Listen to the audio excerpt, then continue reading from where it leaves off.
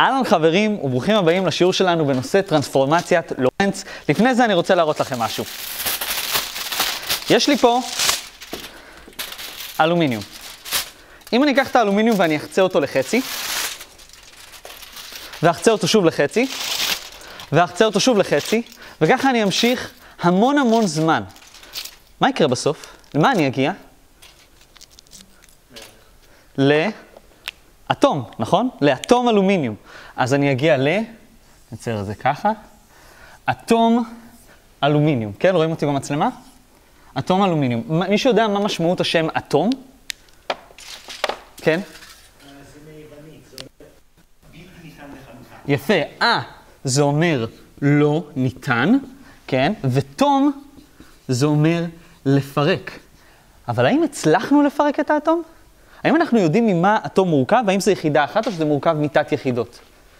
זה מורכב מאלקטרונים, נכון? שאנחנו יודעים שחגים סביב משהו שנקרא הגרעין. וגם את הגרעין הצלחנו לפרק, נכון? פירקנו אותו להיות פרוטונים, ניוטרונים, כן? כל מי שעושה כימיה כללית, וגם את זה הצלחנו לפרק לקווארקים. בעצם אנחנו במין מסע כזה, כן? להבין מה הלגו הזה שמרכיב את העולם. והיום אנחנו הולכים לדבר על שתי חתיכות מאוד בסיסיות שעדיין לא הצלחנו לפרק, וכנראה אלה אבני היסוד שלנו. אז פה הזכרנו את האלקטרון, אבל היום אנחנו נדבר על, על הדוד שלו, כן? המיואון. אתם רואים פה? עם המיו?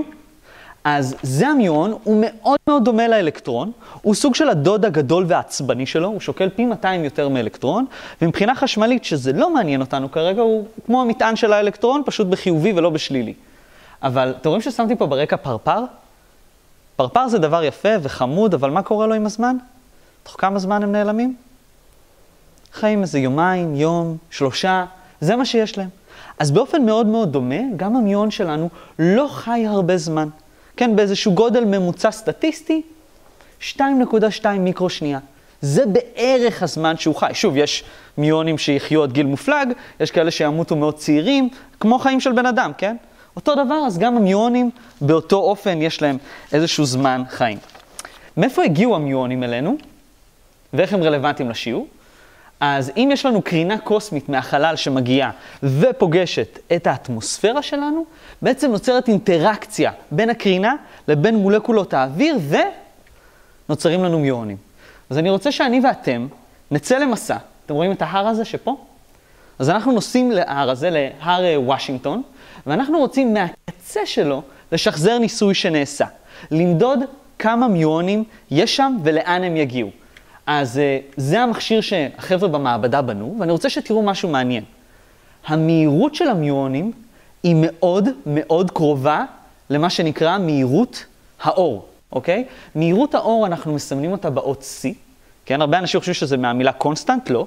זה מהמילה celeritas, שזה אומר מהיר, קוויקי כזה, מאוד מאוד מהר. זה הערך הכי טוב שהצלחנו להגיע אליו עד היום, אבל אנחנו בקורס של הנדסה, אז אנחנו בקורס נתייחס אליו 3-10 בשמינית. זה הסדר גודל שלו, אבל אני רוצה שתראו את היצור החדש הזה. מה יש פה לפני מהירות האור? אתם רואים את הערך הזה? זה בטא. אז בואו נדבר רגע מי זה בטא. בטא הוא יהיה מאוד מאוד חשוב. אצלנו בשאלה, בטא שווה 0.995, אבל בטא זה למעשה יצור שאומר כמה אני קרוב להיות מהירות האור. אתם רואים את היצור הזה? יש? אני כבר עושה לכם ספוילר, מהירות האור זו המהירות הכי מהירה שקיימת, כלומר בטא במקסימום שלו יכול להיות, יכול להיות C חלקי C, בטא הוא יחס, יחס, הוא חסר יחידות, זה אומר 1, והמהירות הכי איטית שלו היא 0 חלקי C, 0, נכון? אז בטא זה מספר שמופיע ברלטיביות ויחסות המון, כי זה בעצם כל הבשר שלנו. כמה אנחנו קרובים למהירות האור, ונראה שדברים מטורפים קורים שמתקרבים למהירות האור, אבל בואו נתחיל בקטנה. אז החבר'ה בנו פה חיישן שתופס מיואנים, כן? וכאן הם יכלו לספור כמה מיואנים הם תפסו, והם בנו פה, אתם רואים את הערימת ברזל הזאת? הערימת ברזל הזאת מבטיחה שכל המיואנים שהגיעו לחיישן הם בהכרח מיואנים במהירות הזאת. יש? מצוין. אז השאלה הראשונה שלי אליכם, כן? תוך כמה זמן יגיעו המיונים שהגיעו לראש ההר אל הקרקע. אז בואו נעשה את זה כאן, צלמת, צלמת איתי? פה. אז א', אני אצייר את הכל, אוקיי? יש לנו כאן, תסתכלו, הר, כן? וושינגטון מאוטן, והוא בגובה ידוע של H שווה 1917 מטר. זה הגובה של ההר. כאן נמצאת המעבדה שלנו, כן? והם מדדו שהגיעו לכאן, הם מדדו שהגיעו לכאן 568 מיונים בשעה. זה לא קריטי, אבל זה המספר שלנו, ואני שואל אתכם, תוך כמה זמן, תוך כמה זמן המיואונים, מיואונים מראש ההר צפויים להגיע, להגיע אל הקרקע. כלומר, גובה אפס. הגובה הזה. בסדר? יש? אני אצייר סתם מערכת צירים בשביל הנוחות. הנה x והנה y שלנו. בסדר? יש? אז בואו תגידו לי כמה זמן. איזה נוסחה יש לנו? יש לנו פה מרחק, יש לנו את המהירות, נכון? זה פריטי סימפל, נכון? x שווה vt. זו הנוסחה. שאלו אותנו תוך כמה זמן מהגובה הזה הם יגיעו לקרקע, נכון? עכשיו, מה שאני רוצה שתראו פה, שהנושא האחרון של הקורס, יחסות, הוא נושא סופר קל. חותם לכם, מה זה קל? השאלות סופר קלות, מתנה במבחן. להבין מה עשיתי, זה כבר משהו אחר, כן? זה כי זה ממש יפתח לנו את הראש למסקנות הזויות. אבל להגיע למסקנות האלה, לפתור את השאלה, להקיף את התשובה הנכונה, מתנה, בובה, בסדר? מעולה. אז שימו לב לרמה, t, אוקיי? אז x שלנו למה שווה? 1917, זה בעצם h. v שלנו למה שווה? 0 הוא שווה 0.995, נכון? שזה בעצם בטא שבשאלה, כפול c, מה זה מהירות האור c? בדיוק, 3, 10 בשמינית, זה אני רושם פה c, ומי שבכלל רצינו למצוא זה t, זה את הזמן. תוך כמה זמן הם יעשו את המסע הזה? בסדר? מעולה. אז בואו נחשב את זה. אני כאן, אני מחשב את זה, זה בסך הכל יוצא לנו שאם אנחנו עושים את כל המתמטיקה, זמן מה זה קצר? 6.42, 10 במינוס 6. מיקרו, שנייה, 6 וחצי כמעט מיליוניות השנייה. זמן קצר מאוד. מעולה. עכשיו אני רוצה לדבר איתכם על הגיל של המיונים.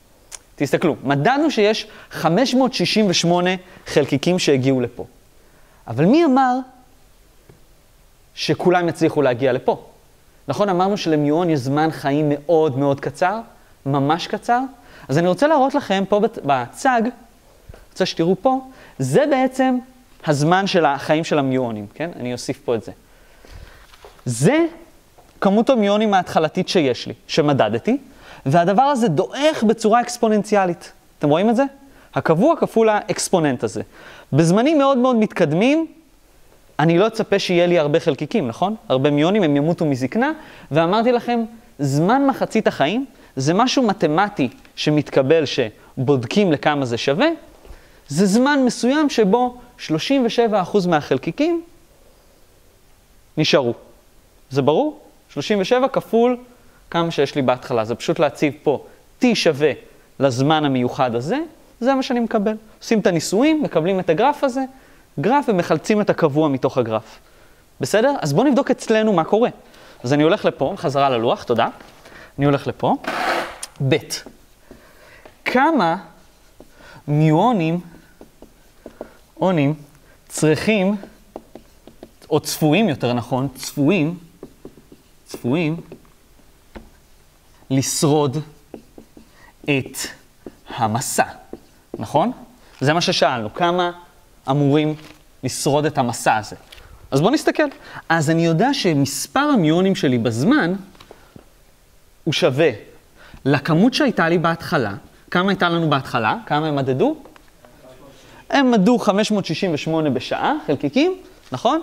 אז אם אני עושה, אם אני ארד למטה לקרקע ואספור שעה, אז אני מצפה שיהיה לי 568 כפול משהו שיקטין אותי, שיהרוג אותי מזקנה.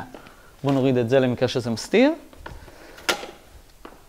אז הדבר הזה שווה למינוס t חלקי טאו של מתאים לחלקיק בשם מיואון. אם מתאים שיש בחלקיק אחר, היה לו זמן חיים אחר. מעולה. אז אנחנו לא רוצים עבור כל זמן, אנחנו רוצים את ה-n שרלוונטי להגעה לקרקע. נכון? איזה זמן זה? זה בדיוק הזמן שמצאנו קודם. זה 6.42, 10 במינוס 6, נכון? מיקרו שניות. אז אני רושם פה 5, 6, 8, זה המספר ההתחלתי שלי, כפול אקספוננט של השבר הזה. 6.42, 10 במינוס 6, חלקי זמן אופייני של מיואון 2.2, 10 במינוס 6.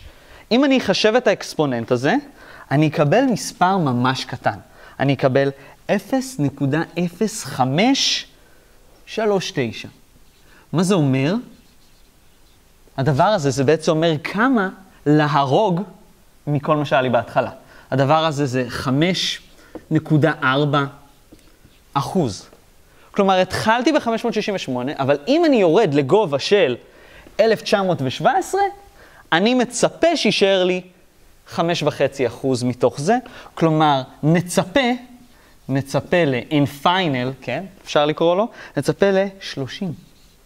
כלומר, אמורים להגיע ממש קצת. למה? כי רוב החלקיקים שלי אמורים למות מזקנה, נכון? מעולה. אבל זה לא מה שקרה. בפועל נמדדו 412. 412 זה בערך פי 13 או 14 מהתוצאה שקיבלנו. זה טעות של פי 10 בערך. אז מה קורה פה? אז בואו ננסה להבין רגע מה קרה פה. אני הולך לכאן. ג',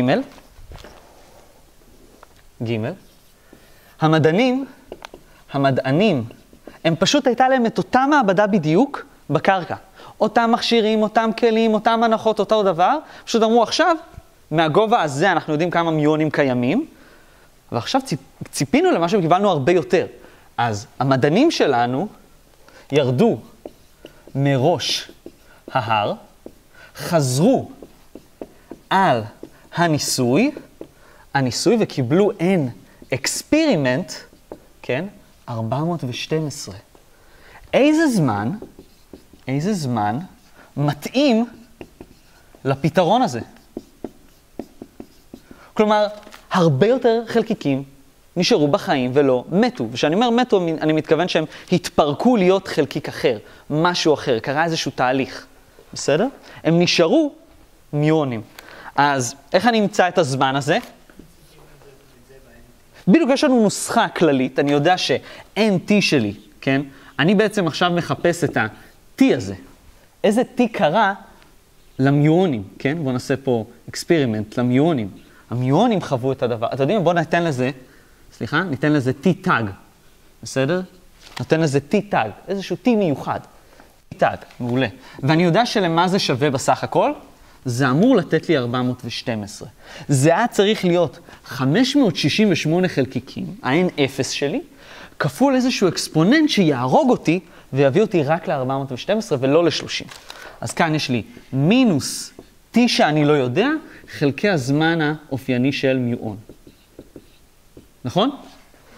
מה אני יכול לעשות? אני יכול לחלק בזה, נכון? אני יכול להפעיל לוגריתם על כל אגף, ln, נכון?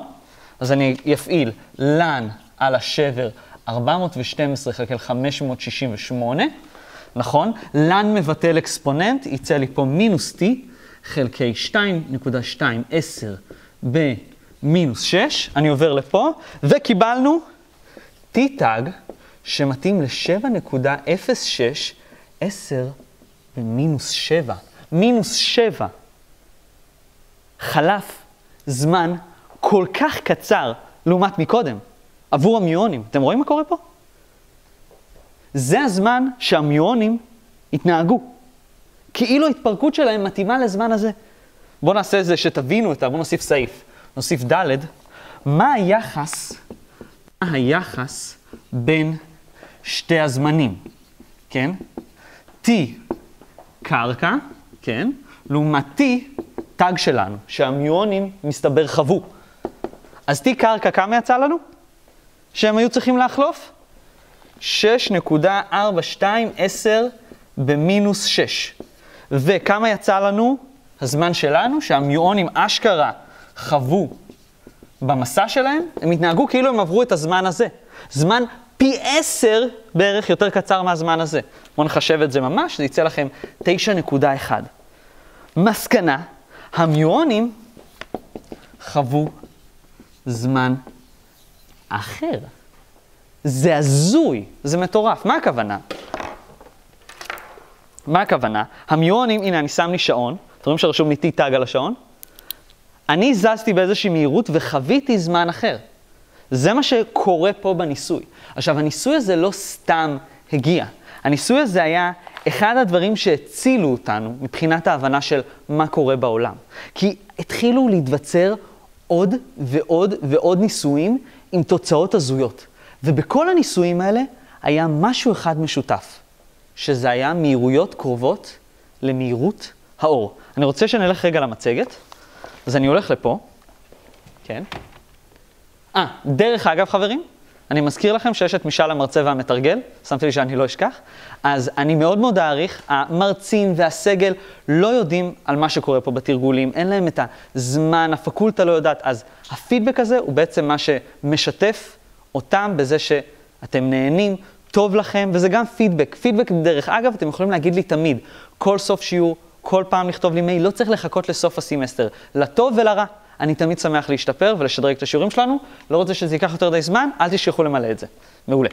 טוב, אז אני רוצה עכשיו לעבור, נכון דיברנו על המיון, ואל תדאגו, אנחנו חוזרים אליו, אני רוצה שנייה לדבר על האלקטרון, אוקיי? אז תכירו את הנדריק לורנץ. הנדריק לורנץ היה נינג'ה, נינג'ה של פיזיקה באותה תקופה. הוא היה תותח, נלמד עליו בפיזיקה 2, והוא חקר את האלקטרון. והתחילו כל מיני השערות כאלה מוזרות, שבמהירויות גבוהות אולי המרחב מתעוות, אולי הזמן נהיה שונה למי שנע מהר, והרבה אנשים לא אהבו את הרעיון הזה, אבל ברגע שלורנץ בא ואמר, חבר'ה, אני תומך ברעיון הזה, זה התחיל לקבל משמעות. לורנץ חקר את האלקטרון, שממש זה עתה התגלה, וגילה שהתכונות האלה כנראה פועלות על האלקטרון. ובצורה מדעית לגמרי, הוא חילץ מתמטית את הקונספט הזה. אם אני נע באיזושהי מהירות מאוד מאוד מהירה, כן? אני נראה לאחרים כאילו אני התכווצתי. והזמן שחולף עליי הוא יותר איטי. השעון שלי, כבן אדם שזז, מתקתק יותר לאט. מי שראה באינסטגרם וביוטיוב, העליתי לכם סרטון על טייסים. טייסים מזדקנים קצת פחות לאט מאיתנו, הם יותר צעירים מאיתנו, כי הם נעים במהירות יותר גבוהה מאיתנו. כמה זה קריטי? מה, אתם יודעים, איזה מילי שניות או ננו, מיקרו שניות, משהו ממש אפסי לאורך חיים שלמים של טיסה. כן? אבל לחלקיקים קטנים שנעים מאוד מאוד מהר, סופר קריטי. טוב, אז זו טרנספורמציית לורנץ, היא מתמטית לגמרי, ואל תדאגו, יש לי טריק איך לעקוף את כל המתמטיקה למשהו ממש ממש פשוט, אבל מי שבאמת הוביל אותנו להבנה של המשוואה הזאת כמו שצריך, היה אחד התלמידים של לורנץ. אתם מזהים את הבחור הזה? איינשטיין היה תלמיד של לורנץ, והוא אהב את לורנץ כמו שהוא לא אהב אף אחד בחיים שלו, והוא בעצם הצליח לקבל את מה שלורנץ קיבל כעובדה להנחות שהוא הניח. הוא הניח הנחה אחת, הוא אמר, מהירות האור זהה מכל נקודות המבט. אם אתה מסתכל על אור מכאן, הוא מסתכל על האור מכאן, לא משנה, האור תמיד עם אותה מהירות. והדבר השני שהוא לקח ממישהו אחר זה, במערכות אינרציאליות, חוקי הפיזיקה זהים. הוא לקח את שתי המסקנות האלה ואמר, אני רוצה להגיע למה שהפרופסור שלי, לורנץ, הגיע בניסוי. וזה מה שהניע אותו. אז כדי לבדוק זמן הוא רצה לעשות שעון. יש כל מיני סוגים של שעונים, כל מה שחשוב בשעון, שתהיה איזושהי תופעה מחזורית שחוזרת על עצמה. שעון מטוטלת, אנחנו כבר יודעים איך לחשב את הזמן מחזור שלו, יום ולילה 24 שעות. עכשיו ראינו דוגמה לשעון, סטייל שעון אטומי, איזושהי התפרקות שאנחנו יכולים לעקוב אחרי הזמן שלה, אנחנו יודעים את הקצב של ההתפרקות שלה, וגם מערכת השמש, כמו שקפלר לימד אותנו, אבל אני רוצה להראות לכם שעון הרבה יותר מגניב. השעון הזה לא אמיתי, זה שעון דמיוני. זה שעון שיש לו את המחוג הזה שנקרא קרן האור, והוא בעצם מתקתק, טיק טק. כל פעם שהאור פוגע בחלק העליון של המראה, או בתחתון, זה הטיק והטק שלו, כן? אז בואו נצייר את זה. אז השעון שלנו עובד בצורה כזאת, השעון שלנו נראה ככה. זה שעון שמורכב משתי מראות, מראה פה ומראה פה, וקרן אור יוצאת בדרכה למראה הזאת. זה טיק, והחלק הזה שלנו, ברגע שהוא פגע, זה הטק. טיק, טק, טיק, טק. וככה השעון הזה בעצם עובד. עכשיו, משהו ממש מגניב, תראו, אם אני אקח את השעון הזה ביחד איתי, נגיד שיש לי שעון כזה, אני פה על סקטבורד, כן? אני לוקח את השעון הזה, ויש לי את האור שלי. דרך אגב, אני אזכיר לכם את המסקנה שאיינשטיין אמר, הוא אמר שהאור כל הזמן באותה מהירות, איזה מהירות? 3, 10 בשמינית, נכון? עכשיו, אם אני נע באיזושהי מהירות 2 מטר לשנייה, נגיד, כן? האור עכשיו לא במהירות 2 מטר לשנייה ועוד 3, 10 בשמינית, אה, אה, הוא עדיין 3, 10 בשמינית, בסדר? זה מוזר, אני איתכם לגמרי, אבל בעצם מפה התחלנו לגזור את כל הדברים. אז בואו נעשה אחד כזה, אז תסתכלו. הנה, אני. בסדר? הנה אני, ואני מחזיק שעון אור כזה. רואים אותו? אני בטק, כן? ועוד רגע, נצייר את זה בצבע אחר, ועוד רגע, אני במקום אחר, אני נע באיזושהי מהירות, נכון? ביחס אליכם, נכון? אני נע באיזושהי מהירות, הופ הופ, והשעון שלי עוד רגע מראה טק, את המקום הזה. מה שאני רואה, אני מחזיר אתכם לסרטון, תסתכלו פה, תסתכלו פה על הסרטון, אני רואה את זה על הסקטבורד, נכון? נכון? מה אתם רואים? איזה תנועה אתם רואים? אתם רואים שלאור יש גם תנועה אופקית, נכון? כזה.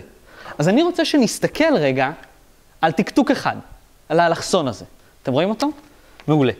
אז הופ, הנה האלכסון הזה, ואני רוצה שתסתכלו על המשולש שבונה את האלכסון הזה. הופה, נכון? ואיזה צבע נשאר לנו? שחור, מעולה. והופה. אני רוצה ששנייה נבין מה זה המשולש הזה. אם אני נע במהירות v, נכון? אתם מסתכלים עליי, כן? נע במהירות v. אז מה האורך של הדבר הזה? אם חלף אצלכם, בואו ניקח, תסתכלו. יש כאן שעון, זה השעון שלכם, הוא במהירות שלכם, הוא מונח פה על הרצפה, רשום עליו T, לעומת זאת אצלי יש שעון שרשום עליו T-Tag. אתם מסתכלים עליי, איזה מרחק, לא צריך להזיז את זה, אני לא זז הרבה, איזה מרחק הדבר הזה? V כפול T, נכון? זו הצלע הזאת. מה זה הצלע הזאת? זה מה שאני רואה, נכון? מה אני רואה? אני רואה שהדבר הזה נע באיזה מהירות? זה אור, חייב להיות מהירות האור, ובזמן T-Tag, נכון? מעולה. עכשיו, האור, אתם מסתכלים על הקרן הזאת, נכון? הקרן הזאת בעיניכם באיזה מהירות היא נעה? מהירות האור, C כפול T. עכשיו, תסתכלו את הפשטות והגאונות. בואו נעשה פיתגורס על המשולש הזה, ונבין מה הקשר בין T לבין T-Tag. אולי זה יפתור את פרדוקס המיונים, אוקיי? שתי ההנחות האלה. אז בואו נעשה את המשולש הזה. אז מה אנחנו מקבלים? זה פיתגורס. אתם רואים את זה? אז אנחנו מקבלים זה וזה בריבוע, כלומר VT בריבוע, ועוד CT תג בריבוע שווה ליתר, CT בריבוע. נפתח, נסדר, שטויות, נכון? נסדר פה את הכל, ומה נקבל? נקבל T בריבוע כפול 1 מינוס V חלקי C בריבוע שווה T תג בריבוע. מזכיר? T תג. השעון הזה, T רגיל, השעון שהיה ללא מהירות, שהיה מונח איתכם. מי זה V חלקי C? זה בטא. כבר אתם רואים שבטא משחק תפקיד חשוב. היי, hey, את בטא, נכון? עכשיו, אני רוצה לסדר את הביטוי הזה, להעיף את השורש ולחלץ את הדברים, אז אני מקבל ש-t שלי, t שלי שווה 1 חלקי שורש, 1 פחות בטא בריבוע, כפול t תג. והנה לכם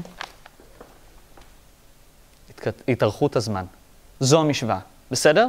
המסקנה הזויה לגמרי, זה אומר שאצלי הזמן תקתק לאט יותר, חוזק בגמא, והפך להיות הזמן שאצלכם. למה אני אומר חוזק בגמא? איך נראה הדבר הזה? הדבר הזה נקרא גמא, שזה פקטור לורנץ, חוזר המון ביחסות, ואיך הוא נראה? בואו נחשוב עליו. נצייר אותו. כאן הוא פונקציה של בטא, שמה זה בטא בעצם? זה פונקציה של v חלקי c. c זה קבוע, אז הדבר הזה הוא פונקציה רק של v. כלומר, פה אני אצייר v ופה אני אצייר גמא. מה הערכים שיש לי למהירות? 0, 5 מטר, 9 מטר, 20 מטר, 200 מטר, 500 קמ"ש, ובסוף, מה יש לי? C. הגרף שלי נגמר ב-C. זה מה שאיינשטיין אמר. אף אחד לא יכול לעבור את מהירות האור, בסדר? הדבר הזה יכול להתחיל ממהירות 0. מהירות 0 נותן לי את הערך 1. כלומר, הדבר הזה מתחיל מ-1, מהירות 0, נכון? שימו לב שגם מהירות וכיוון לא משנה, זה בריבוע, פלוס מינוס לא קריטי. עכשיו שימו לב שאני 1, והדבר הזה, הבטא הזה גדל, גדל, גדל, גדל, ומה עושה למכנה? מקטין, מקטין, מקטין. אז המכנה קטן, המספר גדל. אז הדבר הזה הולך, הולך, הולך, הולך, הולך, הולך, מתפוצץ במהירות האור. כלומר, ככל שאני נע מהר יותר, הנה הגמה שלי, הפרש, ההפרש ביניהם, השוני ביניהם יהיה עצום יותר. זאת אומרת שאנחנו במהירויות ממש נמוכות, כאן, רון נוסע על סקייטבורד, אני במכונית, אני ברכבת, אני... אנחנו כאן. אבל אם אנחנו מתחילים לנוע מהר, וחשוב לנו הדיוק, חבר'ה, טעות פטאלית, תראו אצלנו, אצלנו יצא פי עשר יותר. פי עשר יותר, 9.1, אוקיי? מעולה. אז זה מה שרציתי שנסגור, ובואו נחזור לבעיה שלנו, אוקיי? אני הולך לפה להר, בסדר? נחזור לבעיה שלנו. אז כיוון שהמיועון שלנו נע כל כך מהר, המהירות שלו, השעון שלו, מתקתק לאט יותר. המשמעות של זה, שאי אפשר לנוע במרחב שלנו כל כך מהר בלי לשלם את המחיר. המחיר הוא שהזמן שלך עוצר. קרן אור לא חובה זמן. היא ויתרה על כל הזמן שלה. השעון לא מתקתק אצלה, המחוג עצר. אבל ככל שאתה מתקרב, פשוט המחוגים שלך מתקתקים קצת יותר לאט, בסדר? אז אני רוצה לשאול, היי, hey, היי, hey, אני מחליף טוש. סבבה? אז כמה זמן, כמה זמן חווה המיועון, המיועון, אה, חווה המיועון בהתקדמות, בהתקדמות לכדור הארץ לפי פקטור לורנץ. עכשיו אני רוצה שתשימו לב למשהו חשוב. פקטור לורנץ. איינשטיין מצא את ההסבר למה הדברים קורים, לורנץ גילה את זה ראשון. בסדר? סבבה. אז קרדיט לכל אחד במקומו מונח. אז מה שאנחנו יודעים שהזמן שלנו, הדלתא T שאנחנו חווינו, נכון? כפול גמא של הדלתא T תא. כלומר, הזמן שהמיועון חווה, פקטור תיקון, הזמן שאנחנו ראינו את הדבר המהיר הזה מתקדם. זה הזמן שתקתק אצלו. אז לכמה גמא שווה אצלנו? בואו נבדוק את זה. זה, אנחנו גילינו את זה מהזה. אבל בואו נחשב, נראה שהתיאוריה עובדת. גמא שלנו שווה 1 חלקי שורש 1 פחות בטא בריבוע, נכון? בטא בריבוע אצלנו זה? בטא, בטא, אני מזכיר, זה כמה החלקיק שעליו הסתכלתי במהירות קרובה למהירות האור. מה היחס? 9.5, נכון? 99.5 אחוז ממהירות האור, כן? עוד חצי אחוז והוא מהירות האור, חבר'ה, זה מטורף. יש? סבבה. אז אנחנו כאן, אז אם נציב 1 פחות 0.995 בריבוע, נשים את זה בשורש, באמת נקבל 9.1. וזה מסביר לנו את הדבר הזה, אוקיי? יש? מעולה. עכשיו, התופעה הזאת נקראת התארכות הזמן, אבל חבר'ה, זה רק מקרה פרטי וחמוד של כל התופעה הזאת. אז בואו נתעסק עכשיו באמת בטרנספורמציית לורנץ. עכשיו, אני רוצה שתסתכלו על הדבר הזה. טרנספורמציית לורנץ, אלה שישה משוואות, לא נעימות, אתה בא לשאלה, אתה לא יודע ממה להתחיל, אבל אל תדאגו. יש לי פתרון איך מתמודדים עם טרנספורמציית לורנץ. אז בואו נתחיל שאלה נוספת, אני בא לכאן. אז אני ממשיך את השאלה הקודמת שלנו, כן? אני מתייחס אליה, אני יוצא מהדיון שהיה לנו על פקטור לורנץ, והשאלה שלי היא שעכשיו יש לנו הר חדש, ו', נתון הר חדש. עם גובה לא ידוע, עם גובה לא ידוע, כן? זה מה שנרצה למצוא, מה הגובה של ההר, אוקיי? הנה ההר שלי, הופה, בואו נצייר את זה אפילו קצת יותר מוצלח, נשקיע. זה ההר שלי, זה h, הגובה שלו, זה מהצד השני, זה h, הגובה שלו, נכון? וביחס לראש ההר, ביחס, ביחס לראש ההר, נמדדה התפרקות המתאימה, רגע, ביחס לראש ההר, על הקרקע, פה, כן, על אה, אה, גובה הים, איך נקרא לזה? על הקרקע, קרקע, גובה אפס, פה, כן, נמדדה התפרקות המתאימה ל-t שווה 3.31 10 במינוס 7. בסדר? אנחנו לא יודעים מה h, אבל אנחנו כן יודעים שפה, ביחס לפה, חווינו התפרקות של הזמן הזה. בסדר? מעולה. ומה שאני רוצה זה שאתם תמצאו את ה-h הזה, ותעזרו בטריק חדש שנקרא טבלת מאורעות. אוקיי? בואו נעשה את זה. אז אני הולך לתת לכם את ראשי התיבות המפורסמות שלי למה עושים שמתעסקים בטרנספורמציית לורנץ. יש לי כמה שיטות ממש מגניבות. אז מה שאנחנו מתפללים ואומרים זה את הדבר הבא.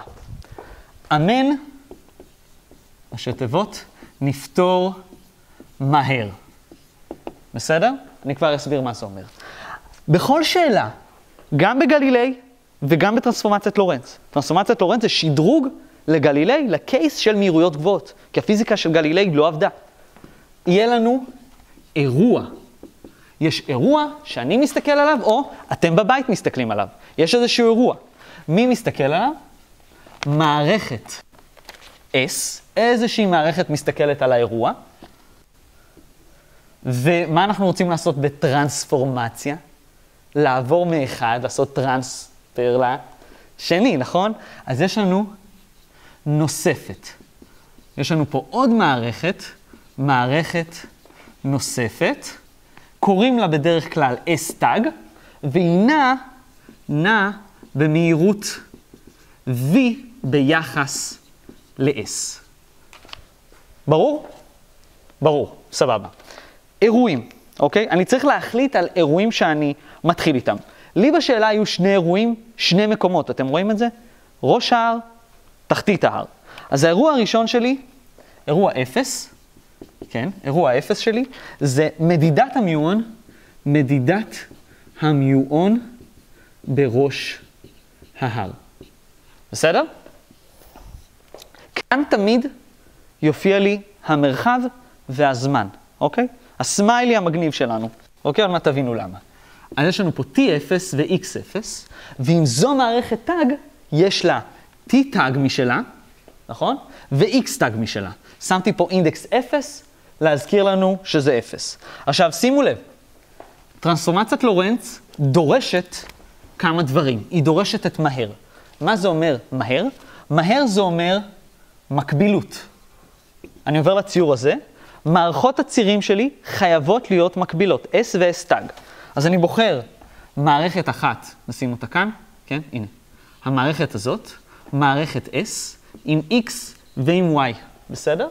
ועוד מערכת, שתקרא מערכת S טאג, וזה, וזו מערכת שצמודה אל המיון שלי. היא ממשיכה עם המיון במהירות V אל הקרקע. רואים את ההבדל ביניהם?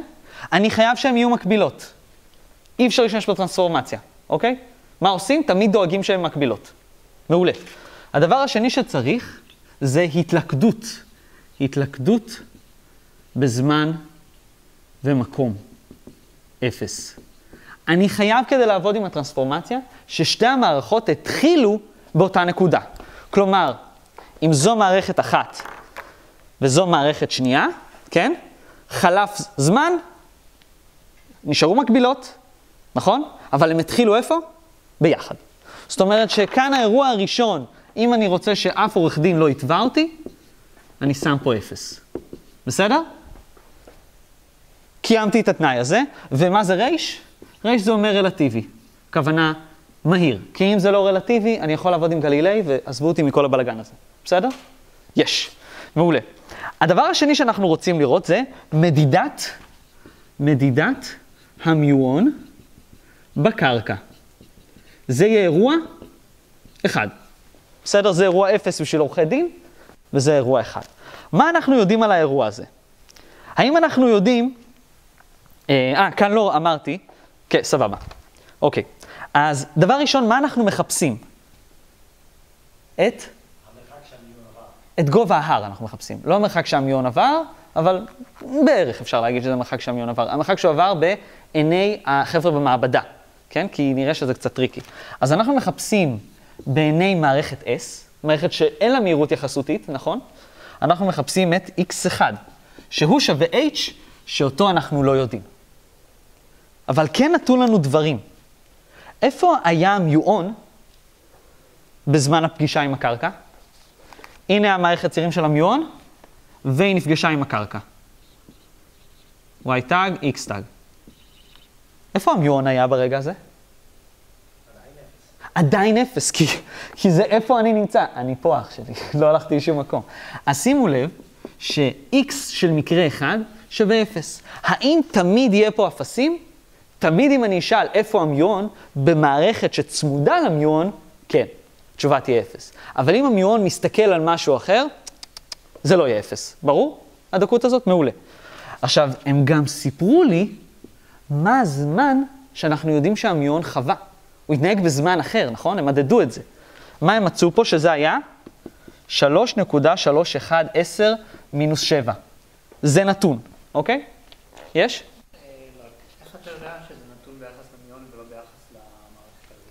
ביחס לראש ההר נמדדה על הקרקע התפרקות המתאימה ל... בעיני... אה, איך אני יודע? כי אה, אני יודע כמה מתו, המיונים, נכון? אז מתו המיונים זה חייב להיות זמן שקשור אליהם, בסדר? צודק, היה צריך לחדד את זה, להדגיש את זה בכל זאת. מעולה, סבבה. דרך אגב, את T1 אני לא יודע, בסדר? כמה זמן לקח לחבר'ה על הקרקע לראות את הסיפור הזה. מעולה. איך עובדים עם הטבלה, אוקיי? שימו לב. אם אתם רוצים לעלות במעלית ולרדת במעלית, אין פה טרנספורמציית לורנץ. לרד ועלות במעלית זה פיזיקה רגילה. x שווה vt, בסדר? כי אנחנו, אין פה יחסות, אני לא ביחס לאף אחד אחר. זה אירוע אחד, אירוע שני, אירוע שלישי, אירוע רביעי. אז הדבר הזה נשאר כל מה שלמדנו עד עכשיו. אם אני רוצה לעשות את זה, לעבור מעמודה לעמודה, רק טרנספורמציית לורנץ. ברור? מפה לפה או מפה לפה אני חייב טרנספורמציה. מעולה. אני הולך לכאן, אה, אני יכול להישאר פה. סבבה. אז אני רק אחדד את זה פה. אם אני רוצה לעשות את זה, את הקפיצה בין המערכות, רק יחסות. כן? טרנספורמציית לורנץ. אם אני רוצה לעשות את זה, חינם. כן? פיזיקה רגילה. פיזיקה רגילה, מערכת אחת. אין לי פה שתי מערכות. בסדר? מעולה. עכשיו, לא יודע אם אתם זוכרים את המצגת המפחידה, את כל הנוסחאות של לורנץ, אני רוצה להכיר לכם את הטריק שלי לטרנספורמציית לורנץ. הטריק שלי נראה ככה. כל הבעיות בלורנץ נראות ככה. כל המשוואות. משהו מגניב שאני מחפש. זה יכול להיות או מרחב או זמן, נכון? מחפשים. זה יכול להיות או מרחב או זמן, נכון? גם זה יכול להיות תג, נכון? אני לא יודע. זה מי שמחפשים. אז אני שם לו באופן כללי I. I זה או תג או לא תג. זה שווה לפקטור התיקון לורנץ, נכון? ושווה, אם תסתכלו טוב על הנוסחות, זה שווה לאותו דבר מגניב. אם חיפשתי X, פה יופיע X, אם חיפשתי T, פה יופיע T, אבל בשפה של המערכת השנייה. זה כל הקטע של הטרנספורמציה. אני אתן לך את המערכת הזאת, תן לי את זה במערכת השנייה. בסדר? כאן יש לי או פלוס או מינוס. פלוס אומר שהוא מסתכל עליו, בורח לכיוון x החיובי. מינוס אומר שהוא מסתכל, מינוס אומר שהוא מסתכל עליו, בור, מתקדם לכיוון x השלילי. כלומר, מתקרב אליו. סבבה? זה הפלוס והמינוס. לאן השני, לאן, בואו נעשה לאן, שתיים, נע. זה מה שהדבר הזה עונה לנו. בסדר? כאן תמיד יש בטא, כאן תמיד יש את ההפוך שלו. אם פה היה x ופה x, מה כאן יהיה? t. אז אני שם פה אותו הפוך, בסדר? שאלה, זה יהיה במערכת 1 או במערכת 2? חייב 2, זו טרנספורמציה. חייב שאני אתן לך את הפרטים ב-2 כדי לקבל את 1, וכאן אני רושם c חלקי c. c חלקי c זה 1. הכוונה פה זה מתקן יחידות. אם כאן יש לי t, t כפול מהירות, אז זה כפול c, ייתן לי x'ים. מסתדר עם היחידות. אם היה רשום פה x, x חלקי מהירות, ייתן לי זמן. סבבה? אז זה לתקן יחידות. כמה נעלמים יש לי פה? בדר... כמה נעלמים יכולים להיות לי פה? שימו לב, זה אני יודע, זה תלוי במהירות, או בבטא, הנה בטא, C ידוע, יש לי פה את שלושת אלה. יש לי תמיד שלושה x'ים, או שלושה, אה, סליחה, שני x'ים ו-t אחד, או שני t'ים ו-x אחד. בסדר? כלל אצבע, אם אני פה, אני הולך להפעיל על אירוע את המשוואה, אם יש לי שתיים, אני כנראה יכול למצוא את השלישי. יש לי שתיים, משוואה עם שלושה, משוואה עם נעלם אחד. אני יכול למצוא. אז אנחנו נרצה לפתור את זה. שני אלה, תנו לי את זה. בסדר? שימו לב לשיטה, הנה זה קורה. את מי אני מחפש? x1, אז אני רושם פה התא x של אירוע אחד. מעולה. כאן אני רושם גמא, נכון? סבבה? אני יודע את מהירות המיון, לא רשמתי, זה מיון עם אותה מהירות כמו מקודם. אז זה שלנו, 9.1 יודעים. מעולה, וזה h שמחפשים. אם כאן שמתי x1, מה אני חייב לשים פה? בדיוק, x1, אבל בשפה של השנייני. תג, שאצלנו מה זה? נסתכל על הטבלה, זה 0, מעולה, נפל. פלוס או מינוס? אני, אם אני מערכת הרגילה ללא תג, אני פה בראש ההר, ואני רואה את זה בורח ממני למטה, בכיוון החיובי של ציר x, פלוס. יש? בטא נשאר בטא, כאן, מה אני צריך לשים? אם זה היה x'ים, ואני רואה פה סמיילי הפוך, זה אומר הפוך מ-x, שזה t. חייב להיות t של אותו אירוע ושל אותה מערכת שאני מחפש. אם אני מחפש פה אחד, פה חייב להיות המערכת השנייה. סליחה, לא תג, כאן חייב להיות תג. לכפול ב-c או לחלק ב-c? זמן כפול מהירות נותן מרחב, x שווה vt, זו הנוסחה שלנו. אז לכפול.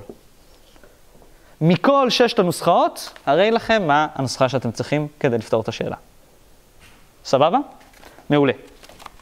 אז אנחנו מציבים h שווה 9.1, 0 פלוס, כמה זה? 0.995, נכון? מעולה, כפול t1 שלנו, שהוא נתון 3.310 מינוס 7, כפול מהירות האור, 3, 10 בשמינית, נכון? נותן לנו h ששווה ל-900 מטר. כמעט קילומטר הר. ברור מה עשינו פה? בסדר? בסדר. אוקיי, מעולה. טוב, דרך אגב, דרך ב', למי שרוצה, אפשר לעשות את הדבר הבא. נכון מותר לי פה לעשות חוקים רגילים של פיזיקה, ותמיד בטרנספורמציית לורנץ נהיה במהירויות קבועות. תמיד, x שווה vt, סבבה? למה x1 שווה? הוא שווה ל... אני מסתכל על האובייקט הזה, נע במהירות v, נכון? זה לא עובד.